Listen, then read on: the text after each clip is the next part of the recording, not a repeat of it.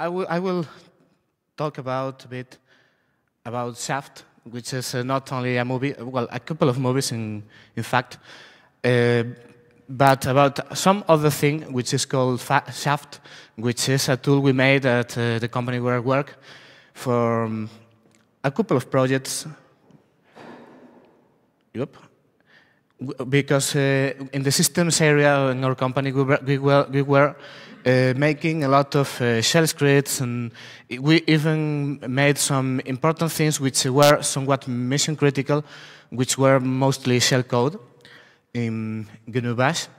So we reached the point where it was becoming very difficult to test whether everything uh, was uh, working as expected.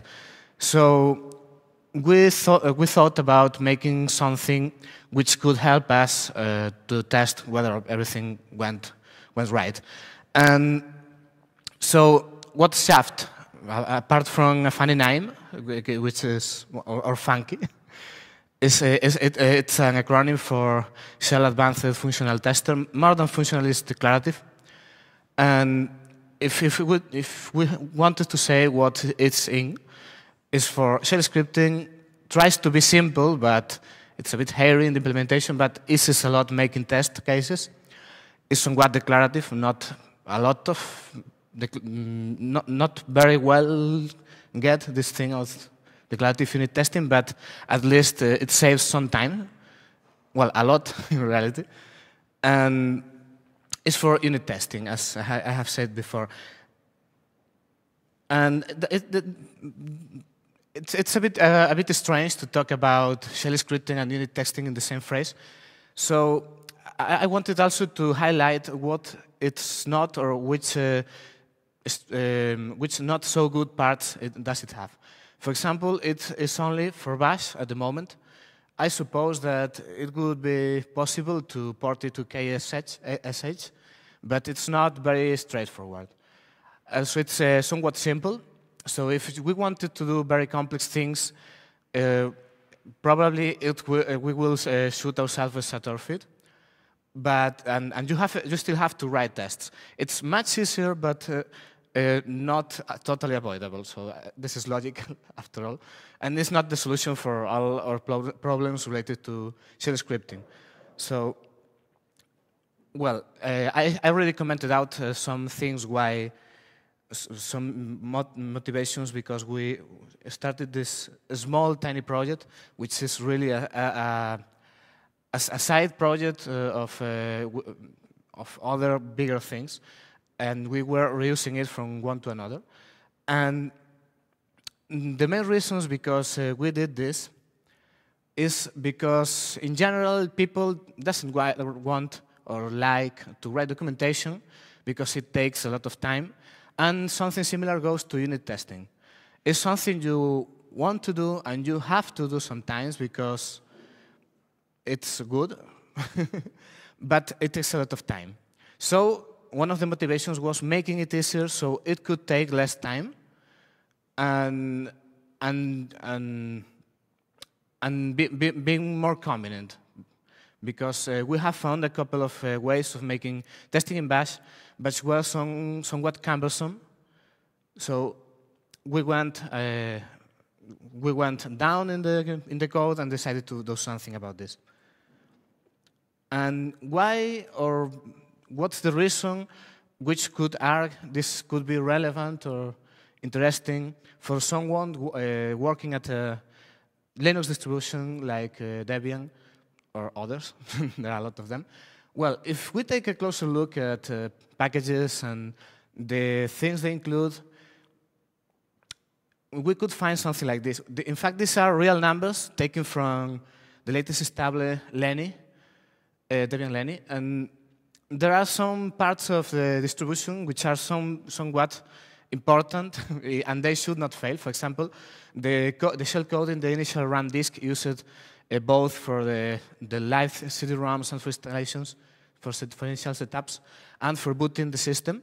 They contain about 1,200 lines of code in shell, shell code. The init scripts, those ones which go in slash etc slash init.d, they, they are about 3,000 there are about 3,000 lines of code, but it starts to become um, relevant when you, you reach uh, the package, the package scripts. And I refer to the scripts which are run before installing a package of once the package has hit the file system, for instance, postinst uh, scripts. Mm, taking into account a typical installation with no X Windows system, with about 200 installed base package, base package, it's about 17,300 lines of code. Well, not all of this code is relevant because most scripts in, in this 200 set of packages are only uh, one-liners or two-liners or at most five or six lines. So there, is, there will be no need to test those trivial scripts.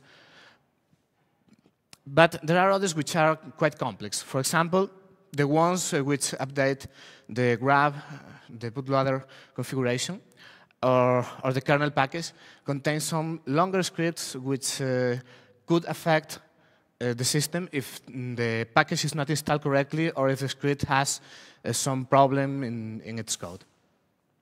And if we take a look at the entire file system, this is something which someone in general should not, should not try. because it takes a lot of time um, identifying with file the, the scripts and counting lines. It's near 90,000 lines of code. Of course, not of all are uh, interesting for testing, but maybe there could be something in Debian which could be tested. And the point is that, as far as I know, uh, I tried to ask and and nobody told me whether there was uh, some way of active testing and automated testing of uh, distribution scripts.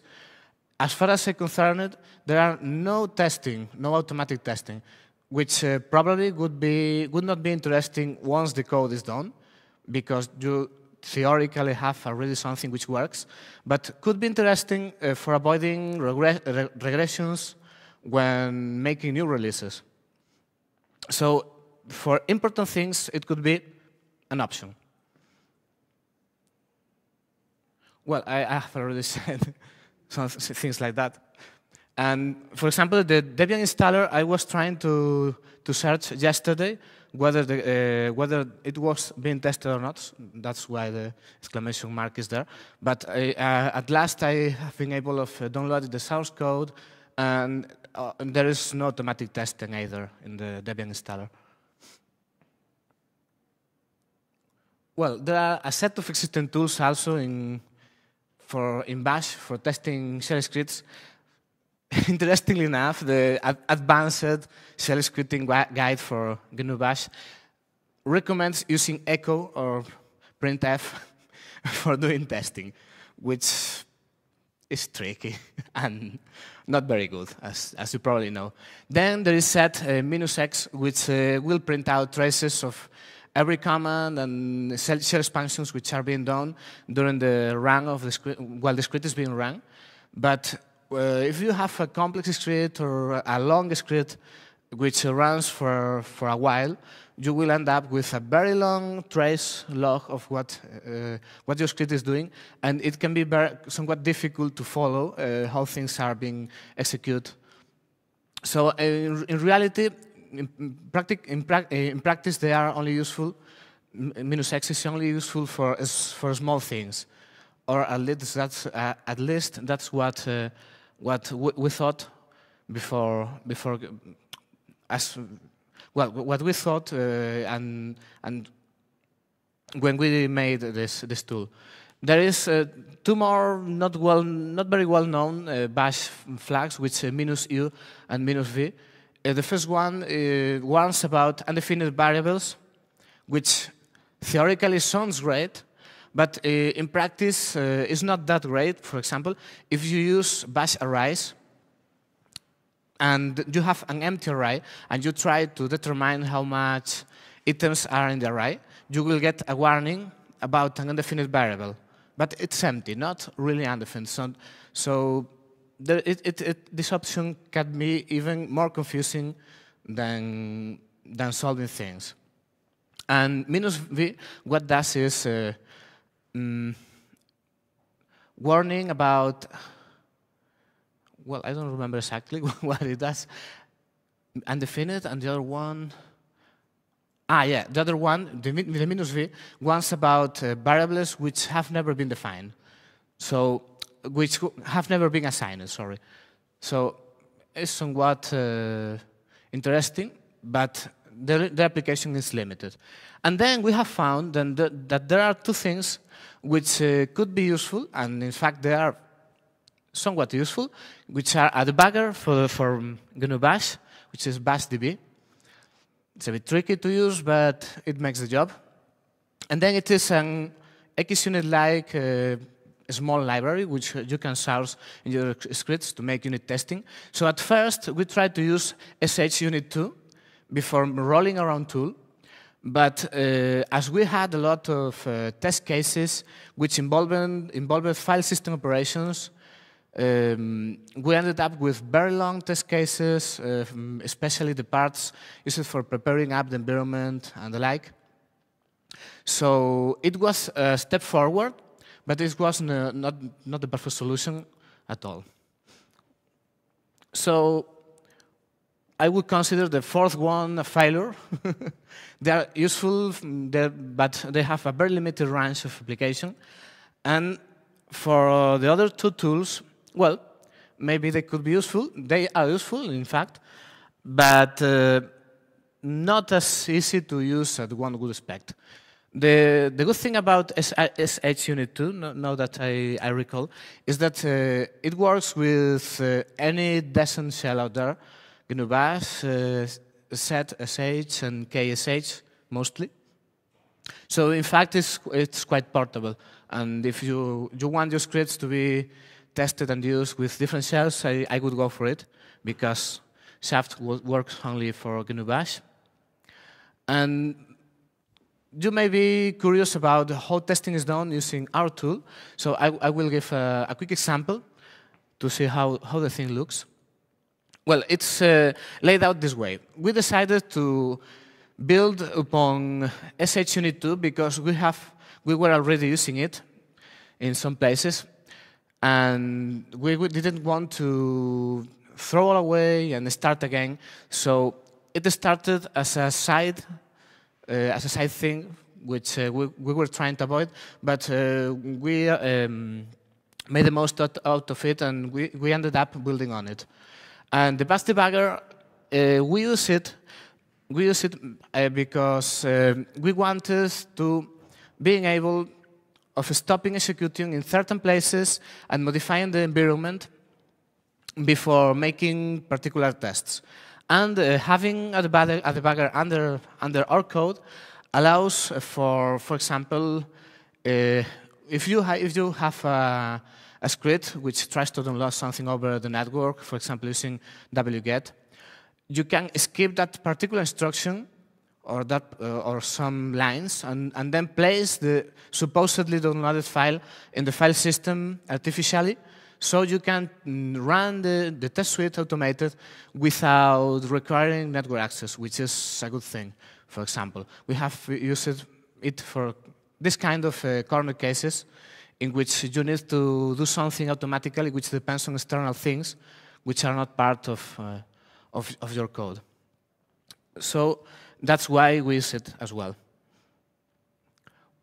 And how, how this affects the code we already may have in a script and how we write test cases. Well, uh, for being able of stopping at certain places and making tests, we decided to go simple and to put uh, some marks uh, with comments in the code. It's, not, it's far from perfect because theor theoretically unit testing says that you should not uh, need to know what's in the code to test it. So we are not really doing perfect unit testing here. But it's very convenient for it was very convenient for us this way because we had a lot of uh, pre-existing scripts which were not structured at all. They hadn't functions.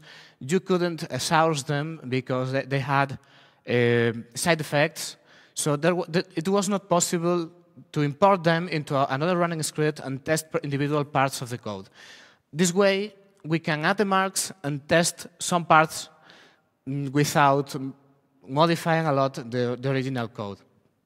So this was a necessity at first, but it turned out to be convenient, in fact. And then uh, one could, uh, should write some proof files, which uh, are a mix of uh, BashDB command script uh, commands, and also a set of commands which are implemented in, in Shaft and, and which provide additional facilities to make testing easier, which is the final goal of all this thing. And then write a small wrapper script which imports Shaft and, and starts running the tests. This may sound like a stupid idea, in fact, because uh, it could be a command line option to specify which uh, source file you want to test and the like. But as we will see later, it allows for adding common environment things into, into for, for all of the, of the test cases. Well, the marks, for example, this is a, very simple script which I made yesterday as an example for today. And just imagine that we wanted to test whether we're entering the if clause. So we can stop here with where test O2 is uh, with a, with a pound mark and a plus. Or, for example, test whether bash uh, actually makes assignments in the expected way, and stop after the assignment of age equals 45.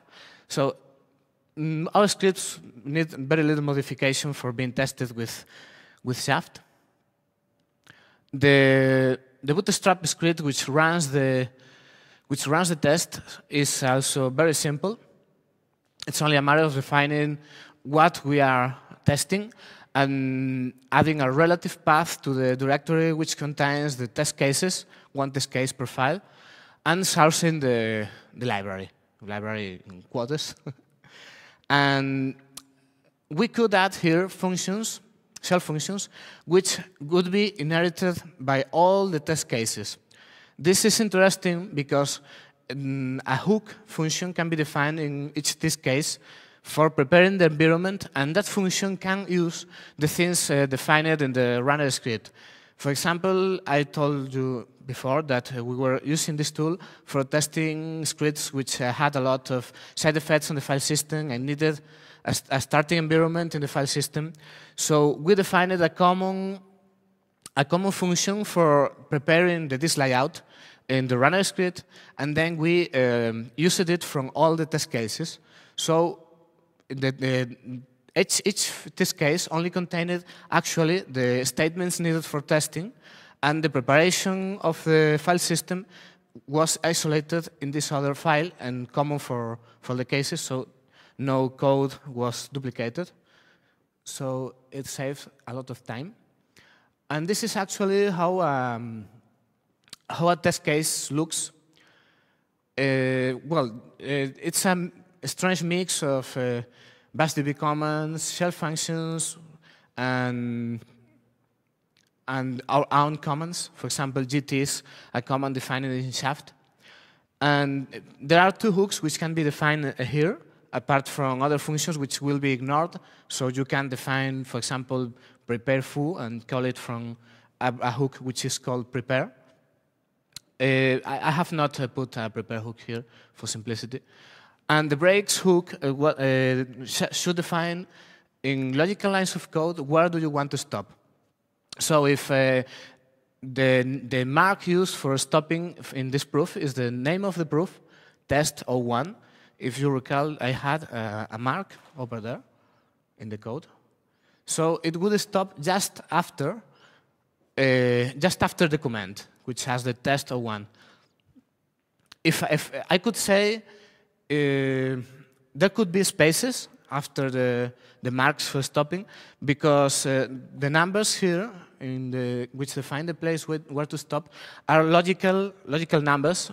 So spaces and commands are ignored, which is uh, pretty convenient, especially if you are making cosmetic changes like adding white space and the like, which sometimes happens. And so what, what, good is, what good this one do? Well, set a breakpoint at the mark, at the next line of the mark with test 01, start running the thing. There is a reason why there, there is not an implicit start, and it's because uh, there are commands for defining environment variables, a message which uh, would be printed in case of test failure, and some other similar things. So uh, I think it's better this way because uh, if, if there was an implicit start, one would have to restart the executing after defining that kind of things. So it's uh, a matter of taste, probably. And here, well, the syntax is uh, something like infix syntax. And it's this way because the parsing of all of this is done in bash, and it's not very easy to make a parser in bash, as you probably know. So what the last line really says is we're checking that something is greater than zero, and what we are checking is the, the rest of the line. If the rest of the line uh, prints something which is greater than zero, so the test will pass. It's, uh, it's a bit funky, but actually it's understandable. This is another example, for example. if you recall, I had a, inside the if block uh, another mark for, for stopping, which was test 02. And we, we can print a dummy string because if, um, if the script does, uh, execution does not go inside the if block, this, uh, this sentence will never be executed. So we, this way we are checking whether we have entered the if statement. If, um, if, the, if the statement was not uh, being run, the, the code inside if, uh, this, uh, the check would be done even so, but the output would be empty, so the test case would fail. It's a particular thing of testing whether code path is following what is supposed to do. May seem a bit strange at first, but once uh, you have your marks set, uh, it's only a matter of adding one line to check, uh, to check for, uh, for, for each one of the points you want to know whether the execution was there. So it's pretty convenient after all. And we could even, this is a quick, a small sample of how it would look if we wanted to do the two tests in the same proof file. Well, it's more, more or less the same, but we, con we continue executing until the next stop is reached. So it's pretty straightforward.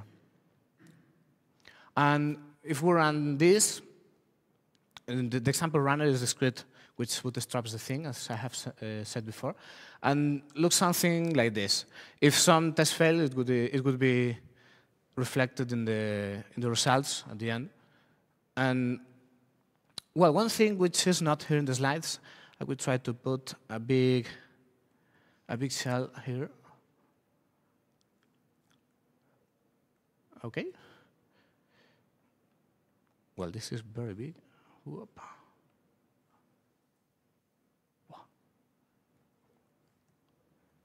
Yeah.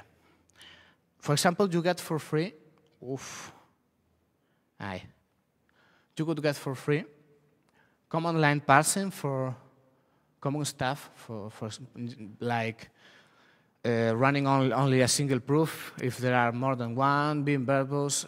Another thing which is uh, which is interesting is that is that uh, if if you tell the minus d switch on, it would create a, a log file, which, for example, you could ask someone to send you by email, uh, which may be good, for example, if you if you are delivering your your shell scripts to some user, and the user say, "Hey, my, your script does not work," and you can say, "Well, run the test suite and send the results to me, so I can tell actually whether it's your fault or it's the fault of my code." So the the logging mode is uh, interesting. You have the, the the logs, and for example, to see, to check whether it's convenient uh, to define the, the prepare hook, as I said before. I could edit this one and, and add a, a prepare function here. and print out something to the, to the console. So if we run the thing again now, something appears in the, at the console.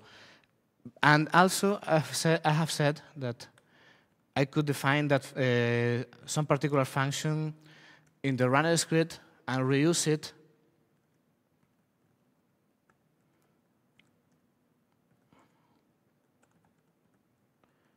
this way. This would be where we would prepare our file system layout, for example, in the, in, in the case where we're doing some uh, things with the file system. And I could say foo here and reuse the, well, something, uh, foo, and I, I could reuse the, the function from, from all test cases.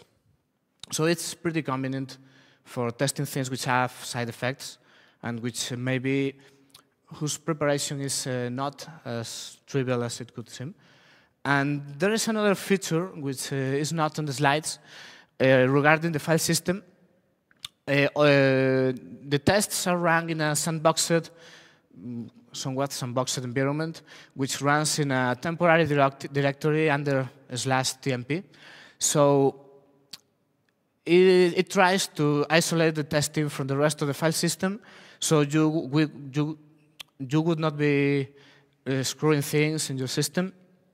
And also, if you had uh, different, for, for each test case, there are different directories which are created.